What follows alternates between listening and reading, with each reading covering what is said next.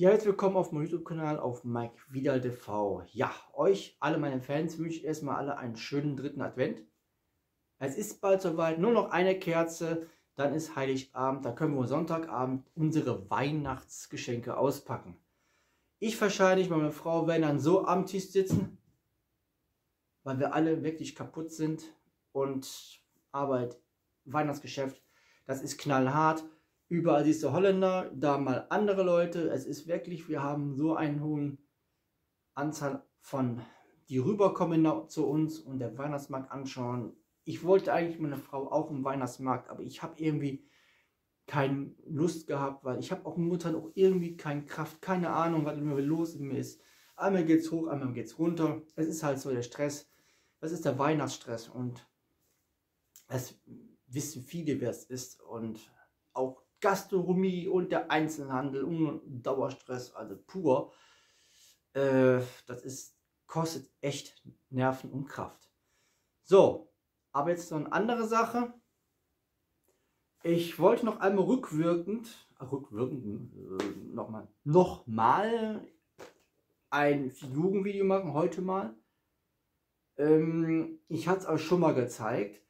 Aber heute ist der Tag, wo ich es auspacke, weil die Karton ist mir kaputt gegangen. Das ist alles schon angekickt. Ich wollte eigentlich drin lassen.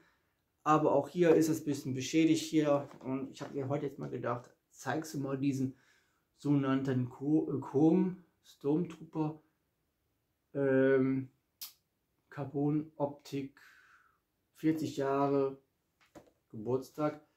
Ich habe überlegt, jetzt den heute mal auszupacken. Der wird mit Sicherheit noch in die Glasvitrine reinpassen. Ich hoffe, dass die Glasvitrine auch nicht platzen tut, weil ich habe immer noch nicht ähm, was neue Glasbatterien. Momentan finde ich auch irgendwie, ganz ehrlich, ich war gestern, gestern nochmal Berliner Lee, Magic Store, da habe ich ja meistens meine ganzen Figuren auch geholt. Die haben wenig Figuren bekommen. Äh, ich weiß nicht, wer los ist.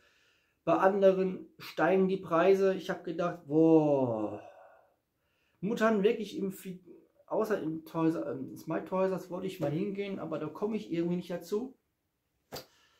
Aber momentan ehrlich bei uns in der ganzen Innenstadt, äh, denkst du manchmal, außer natürlich Tiki Max, wenn manchmal Angebote sind hier, ne, so, wie der Boba Fett um, den haben immer noch alle viel mehrmals hängen, aber was soll ich mit Figuren, die ich schon habe? Ich bin leider kein Doppelsammler, wie unser lieber Marc von Bubu TV, der sammelt ja auch meistens viel, viele Sachen doppelt und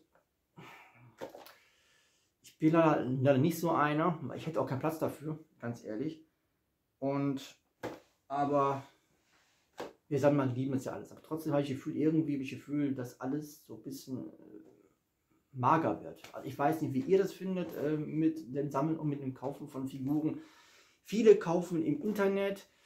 Es gibt auch sehr viele Internetplattformen, äh, wo du diese Figuren günstiger kriegst. Ist auch cool. Aber ich bin Menschen, der gerne Typ mal auch geil mal im Geschäft reingeht, gerade zur Weihnachtszeit sich mal das in der Hand haben, anschauen, auch Angebot, die Weihnachtszeitstimmung kommt, so wie damals 2015, wie Erwachende Macht, wo ich was meinte, was nicht reingegangen bin mit einer Frau, die Zeit war schön und sowas vermisst man. Und wenn sowas nicht kommt, ich finde, das macht ein bisschen krank, weil dann ist man so ein bisschen traurig, lustlos etc. Ich kann auch nicht immer stäbig bauen, weil auch hier musste ich gestern wieder umändern, weil hier wird auch wieder umgebaut. Nächstes Jahr hier kommt ein anderer Tisch mit, die Regale werden noch hochgesetzt. Ähm, hier wird einige Sachen noch passieren, weil ich werde einige Sachen noch nicht weiter bauen, die werden hier eingebaut. Da hinten kommt, ach, auf. Da würde ich euch lange Geschichte erzählen. Aber jetzt bevor ich anfange, einen wunderschönen Tannenbaum festlich für euch auch nochmal, möchte ich nochmal zeigen, plus meinen Sitztupper mit einer großen Weihnachtsmütze und wow. Da freut sich Kylo Ren. Yeah. Also und jetzt viel Spaß bei dem Review-Video. Diese Figur. Viel Spaß!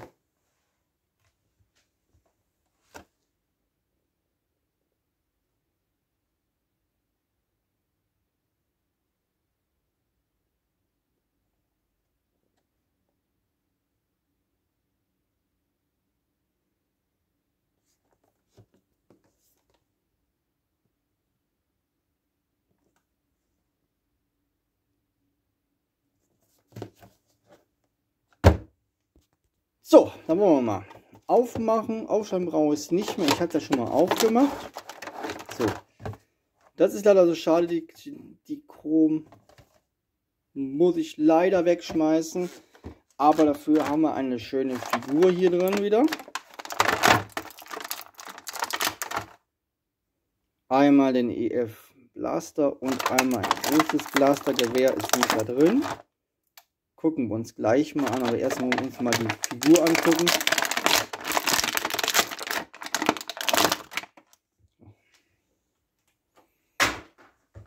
So, Seht ihr jetzt, hat die Farbe die Rüstung wie ähm, Captain Phasma, ne? Ist genauso. Hier hinten ist ein Loch, weiß nicht, warum Loch da drin ist. Vielleicht kommt eine Antenne später rein, keine Ahnung. Ich habe jetzt da nichts gehabt. Ist da eine Antenne drin? Nö. Nö. Gut, egal. So. Ist überall beweglich. Ne? Das ist ja bei jeder Black-Serie-Figuren. Auch die Füße, die Schuhe kann man knicken, sehr gut. Was ich natürlich auch geil finde, werde ich auch gleich mal machen, hier kannst du den Blaster reintun. Seht ihr das?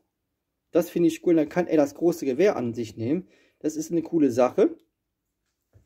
Zum Helm.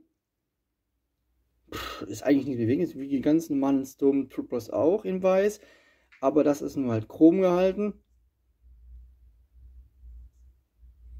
Die Rüstung sieht gut aus. Auch das hier ist alles dann mit vorhanden. Ja, eine coole Sache. Dann könnte man jetzt hergehen, zum Beispiel dieses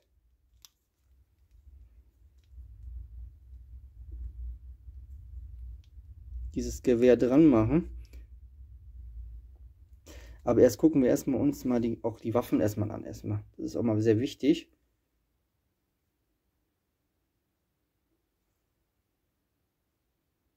Auch cool gemacht. Aber hier finde ich, leider Gottes, hätte man ein bisschen, naja, man kann, man soll nicht meckern. Man soll froh sein, was man hat. Das ist nochmal der E11 Blaster.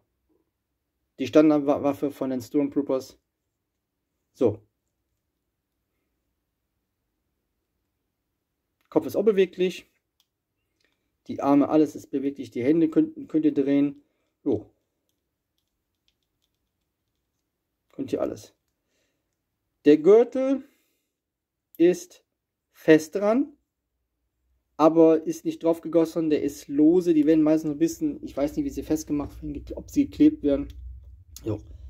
Aber ja, nichts Neues. Also, mich hat alle mal gefragt, wie die Gelenke sind. Hier sind Stifte drin. Seht ihr das? Da sind meistens diese Plastikgelenke drin. Und mir ist aber aufgefallen, wenn diese Sommerzeit kommt, die werden auch sehr, sehr durch die Hitze in Leidenschaft gezogen. Merke ich manchmal, werden die Gelenke weicher. Und wenn es wieder kalt wird, werden sie wieder fester. Aber ist halt so.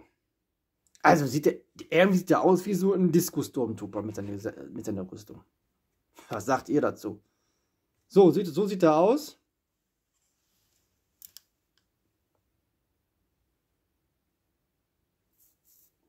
Aber was ich geil finde, dass der Blaster hinten drin ist.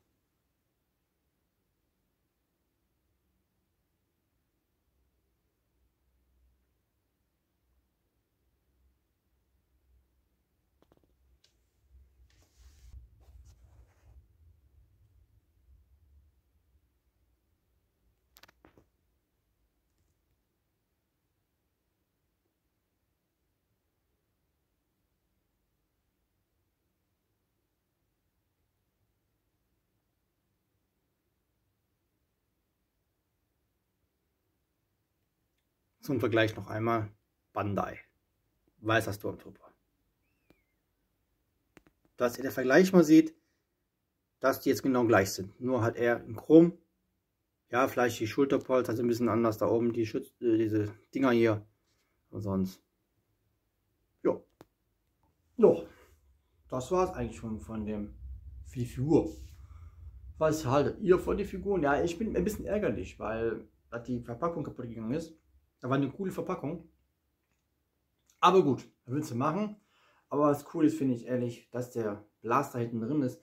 Jetzt kann ich den wunderbar schön in die Glas Glasvitrine reinstellen. Gut. Das war's von dieses Figurenvideo, dieses Review-Video. Wenn euch gefallen haben solltet, lasst einen Daumen oben. Nicht vergessen, meinen Kanal zu abonnieren, auch für meine ganzen anderen Projekte hier ich auf meinem Kanal mache oder die ganzen anderen Review-Videos. Ihr wisst ja, mein Kanal ist abwechslungsreich, ob es jetzt von Filmrequisiten sind, äh, Figuren, alles was hier auf meinem Kanal ist, alles uns solche Filmsachen. Da gehört auch manchmal auch Werkzeug dazu, ne? das ist auch für mich ganz wichtig. Aber ich werde in Zukunft auch irgendwelche Videos machen, wo ich mit Werkzeug zusammen arbeite, was ich mal gekauft habe oder andere Sachen. Oder natürlich auch sowas hier. Ich sinne euch alles Gute und freut auf euch auf Heiligabend. Wer ist bald soweit? Noch eine Woche. Dann am Sonntag ist es soweit und dann können wir unsere Geschenke auspacken. Ich weiß, was ich bekomme. Ich bekomme auf jeden Fall ein tolles Lichtschwert und da werde ich mich riesig freuen. Und ich möchte mich nochmal herzlich bedanken an euch allen, dass ihr mich für meinen Kanal unterstützt bei meinem Kanal. Für die Abonnenten, da freut mich richtig drüber. Und das stärkt mich wieder weiterzumachen, so richtig wieder Power. Im Sinne, euer Mike. Bis dann. Ciao.